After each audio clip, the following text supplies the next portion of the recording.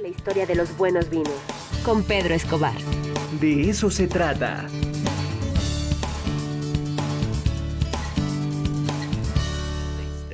Bueno, ya está con nosotros Pedro Escobar. Querido Pedro, ¿cómo estás? Muy bien, Ricardo, con mucho gusto de estar contigo platicando nuevas historias del mundo del vino. Maravilloso. A ver, cuéntanos, ¿qué otra cosa nos traes?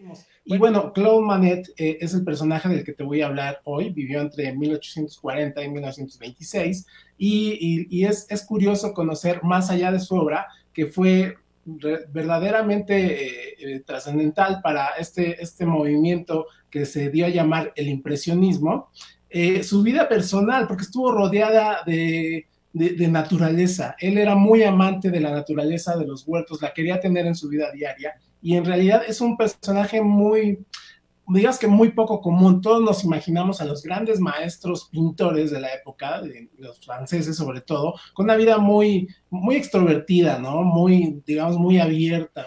Su paralelo era, por ejemplo, este, todos los malditos franceses, ¿no? Así es, sí, ese, ese, era el entorno. Esa banda que era complicada. Así es, ese, ese era su entorno eh, en, el que, en el que se desarrolló él. Sin embargo, él tenía una personalidad completamente opuesta. Era un hombre muy conservador, eh, eh, un, un, hombre que de, muchas costumbres y de muy mal genio, sobre todo. Era, era muy enojón, pero también era muy preciso y muy perfeccionista. Se dice por ahí que llegó a, destruir una gran cantidad de sus obras justo días antes de, exposiciones, ya obviamente en el tope de su fama, porque no le gustaban, porque no, era, no estaban a la altura de lo que él sentía que era una buena obra. Entonces ahí nos vamos, vamos matizando un poco el personaje, ¿no?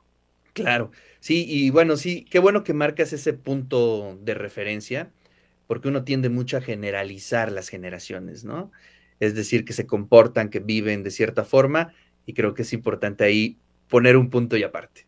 Una de las grandes obras de su vida, o al menos lo que decía él, eh, eh, era su jardín. Eh, él, vivió la mitad de su vida en una residencia que se hizo construir en Givenchy, en, Francia, en, una provincia francesa, donde él amaba tanto las flores que se hizo construir un gran jardín de flores, un estanque para el que hizo desviar un río que pasaba por ahí, lo cual pues obviamente no les pareció para nada a sus vecinos que terminaron odiándolo, pero eh, terminó siendo muy representativo porque ese jardín puede, lo podemos encontrar en, obras como justamente el estanque de, de Ninfeas, o Mujeres en el Jardín, que son dos, de sus grandes obras. Pero bueno, ¿cómo se relaciona este con el mundo del vino? Lo que, él, lo que él quería conseguir con este gran jardín dentro de su taller y casa residencia era que todos los platos que se sirvieran en su casa, eh, eh, muy estrictos, muy cuidados por él, salieran de este jardín, incluso los vinos, porque tenía un gran viñedo.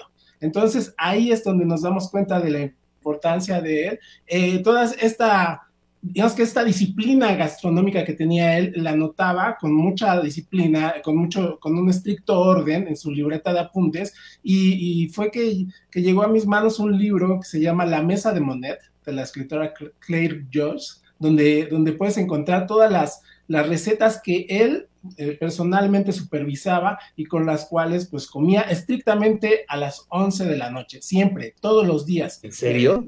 Pasara lo que pasara, comía a las 11 de la noche y esto era para aprovechar hasta el último minuto de la luz natural. Como te decía antes, era un gran perfeccionista y eso se traducía también en la mesa. Eh, en, sus, en sus grandes escenas, pues se, se, llega a documentar que invitaba a figuras de la época como Renoir, como Pizarro, como Degas, Cézanne, también estaban por ahí y todos estaban encantados de visitar la casa de, del buen Monet, porque aparte de, aparte de cenar pues, como dioses con toda esta estos platillos este, tan, tan cuidados, tan mimados, pues el jardín era realmente espectacular, ¿no? Entonces todavía se puede conocer hoy en día el jardín de, Monet, su residencia en Givenchy, y, pues por las fotos, a juzgar por las fotos, pues es realmente una, una experiencia, ahora sí como era el impresionismo, una experiencia inmersiva, Oye, qué interesante. ¿eh? Además, este, bueno, hablando precisamente de estos temas que de pronto eh, tejemos eh, algunos paralelismos interesantes,